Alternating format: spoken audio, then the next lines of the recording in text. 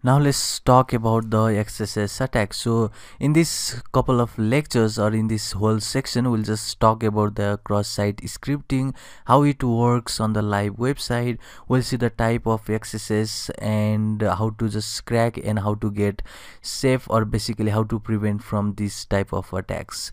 So first of all, XSS is a type of injection that is a JavaScript code in which attacker injects data. So data here means some type type of code or a malicious script into content. So content here is html elements from otherwise trusted website. That means in any trusted websites attacker can inject its malicious code into the html element so that it will be executed on the client. So just remember it is not executing in the server. So it is only getting the access or a control over the client machine. So cross site scripting attack happens when the untrusted source is allowed to inject its own code into a web application. That means it is uh, the loophole of a ARP poisoning. That means anything in the web is trusted. So when you just inject some malicious code to the web application it is allowed to inject that code. And the malicious code is included with the dynamic content delivered to the victim browser. That means it is talking about the stored AXSS attack that means it will be uh, referred to the stored XSS and we'll just see the types of XSS attacks in the upcoming lecture. But for now just remember that XSS is executed to the victim's browser so as to take the control over its uh, browser.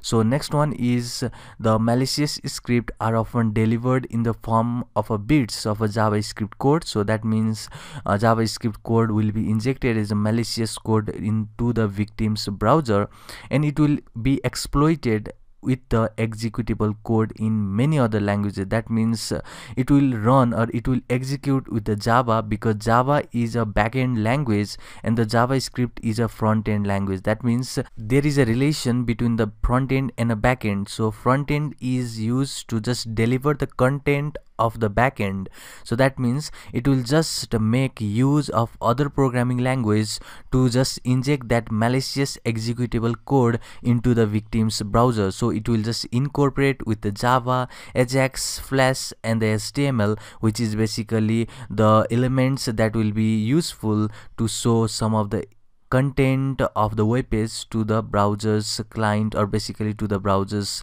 So cross-site scripting attacks can be very serious but mitigating the vulnerabilities that enable such attack is relatively easy. So that means it can be very dangerous but we can just apply some of the encoding techniques some of the obfuscation technique. So in order to just uh, uh, give the hacker that is the tough time to attack for that parameters. So that means cross-site scripting allows an attacker to execute the malicious script as we have already seen and uh, the attacker does not attack the victims directly. Rather the attacker exploits the vulnerabilities in the website the victim visits and gets the website to deliver the malicious script for the attackers.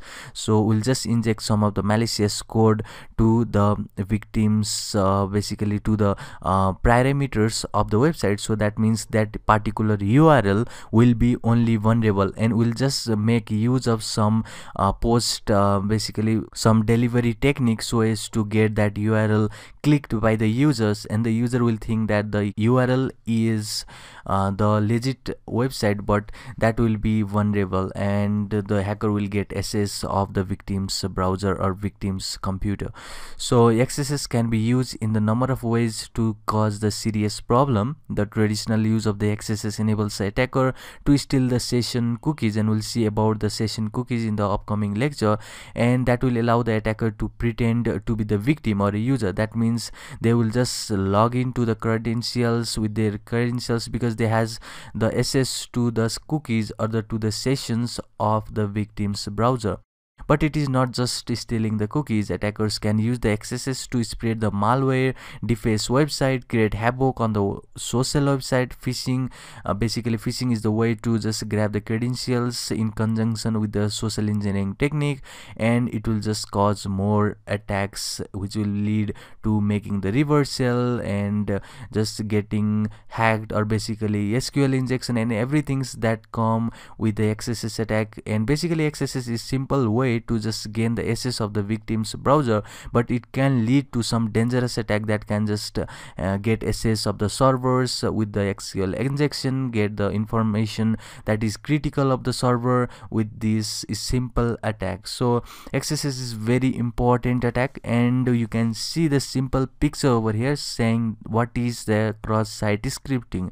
So you can see the attacker in the left hand side and the victims or the browser which is the user in the right hand side. So attacker injects the website with the malicious script that will execute in the user browser. That means it will just inject some of the payload into the website so that the website will just um, be executed on the web site user. And you can see the malicious script is activated in each visit to the website. That means the particular url will be infected and whenever the malicious script is activated it will be executed on that machine. So on the particular machine will be executed not on whole machine. Just remember that that cross-site scripting is basically infected or is going to infect on a particular url so anyone who just visit that url will get infected not all the user.